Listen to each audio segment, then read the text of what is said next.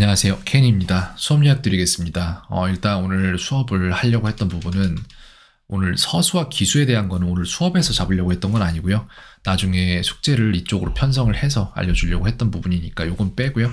5W1H에다가 주어 동사 이렇게 써서 뭐뭐 하는 어, 뭐뭐 하는 것 내지는 뭐뭐 하는 때 뭐뭐 하는 곳 뭐 이런 식으로 잡는 거를 하려고 했는데 저번 시간에 하고 이번 시간에는 안 하고 오늘은 수동태 먼저 다뤘는데 수동태가 시간이 좀 걸렸어요. 대신에 제대로 이해를 시켰다라고 생각을 하고 이 이해를 잊어먹지 않도록 저는 숙제 편성을 이제 준비를 좀 해야겠네요.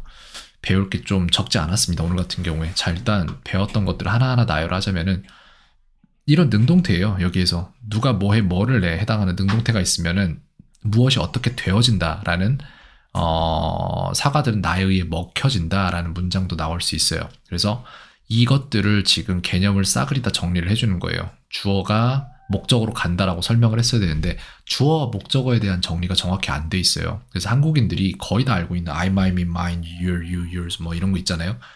그거 근데 웃긴 게 뭐냐면 한국인들이 다 알고 있는데 어디다 써야 될지 아는 사람들은 극소수에 불과하죠. 그걸 그냥 그냥 노래 부르듯이 외워놓고 어디다 쓰는지 적용도 안 되는 그런 걸 외우고 있는데 그렇게 하면 안 됩니다. 사용을 하게 해야지.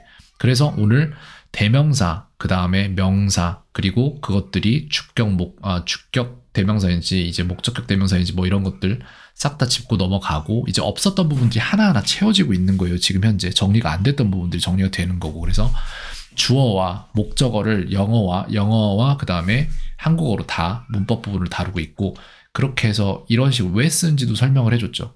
이름이 만약에 이렇게 긴 사람이 있으면은 그럼 이 사람 이름 맵은 어떻게 부르냐. 그렇기 때문에 모든 대명사는 다 짧게 구성이 돼 있고 그래서 한 방에 정리가 되게 이렇게 돼 있다. 근데 다만 영어에서 복잡한 거는 어, 얘네를 목적어로 쓰느냐 주어로 쓰느냐에 따라서 그 위치가 바뀌고 또한 부르는 방식이 바뀌기 때문에 그걸 외워야 돼서 그게 힘든 것이다 라고 이해를 좀 시켜줬습니다. 그 다음에 이제 이런 부분이 있었네요. 어, 8시 22분 정각 딱 정확히 그때 음, 화면이 멈춰가지고는 아이가 한 2분 30초 있다가 다시 들어와요. 그래서 인터넷이 약간 느려서 그런 거 아닌가라는 생각을 하고 있는데 이 부분 한번 보시면 좋을 것 같습니다. 그 다음에 이제 이거를 본격적으로 바꾸기 시작하는 거예요. 여기에는 제가 이제 도와주면서 계속해서 시키거든요. hit이라는 것에 3단 변화를 가르쳐 주고 그 다음에 이제 어 아이가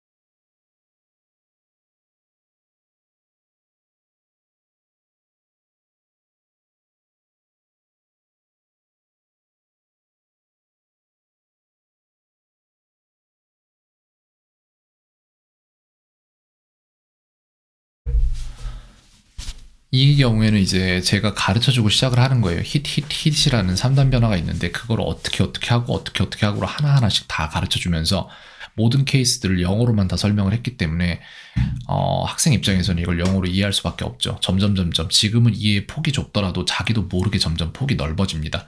그렇게 되고 이제 계속해서 만들어 가는데 여기에서 쭉 하다 보면 제가 쭉 같이 해주고 틀린 것들을 수정해주고 있죠. 여기 보면은. 근데 문제는 여기쯤 가다 보면은 여기에요. 여기가 지금 처음으로 2023년 4월 14일 날 8시 52분 30초에 첫 번째로 수동태 이해에서 본인이 제대로 한 게 여기에요. 이 문장이었어요. 그렇게 했고요. 그 다음에 이제 조금 더 하고 여기에서도 약간 틀리는 게 존재했던 것 같은데 그 다음번으로는 여기에는 이 문장을 그냥 줬을 때 그 문장을 제가 뭐 가르쳐 준 것도 없어요. 한글을 적어 준 것도 없고 본인이 전부 다 한 거예요. 이렇게 아예 수동태를 지금 못 하고 있었던 상태에서 수동태 전에 어디서 배웠는지 모르는지 전 그런 거 모릅니다. 다만 오늘 시켰을 때 처음에 아예 몰랐던 거예요. 네. 배운 사람은 많죠. 배운 사람 많죠. 한국에 안 배운 사람 어디 있겠어요, 수동태. 근데 수동태 할 줄 아는 사람 그렇게 많냐고요? 아니에요. 절대 안 그래요. 제대로 못 가르치고 이걸 제대로 배우게 못 만들기 때문에 그렇습니다. 그래서 여기서부터는 뭘 했냐면 이제 여기서부터는 어 제가 처음에 학생에게 동사표 쓸때 어 시켰던 문장을 하나씩 가져와서 이걸 이제 이번에는 한번 수동태로 만들어 봐라라고 해서 본인이 한 거예요. 이것도 여기에서 약간 고쳐줄 건 필요했는데 이건 본인이 안다고 해서 아, 내비뒀습니다. 계속 하라고 이런 식으로. 그 다음에 이거는 제가 약간 바꿨죠. She 어 어딨지? 이거 3단 변화하고 어 she learns English라는 문장을 변화시켜 봐라라고 했더니 English is learned by her이라고 바로 하잖아요. 그죠?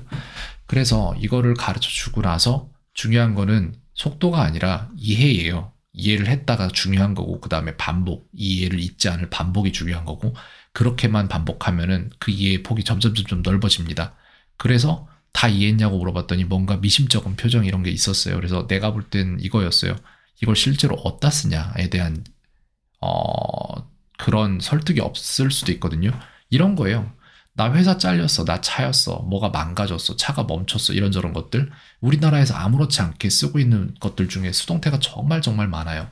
그래서 그런 것들, 영어도 마찬가지니까 이런 것들을 일단 구조를 배우면서 그 다음에 그럴듯한 문장들을 제가 좀 더 집어다가 물어주는 식으로 해야 될 것 같습니다. 일단은 오늘 수업 여기까지 할 거고요. 어, 요렇게 요약 드릴 수 있겠네요. 네, 캔이었습니다. 오늘 하루도 평온하세요.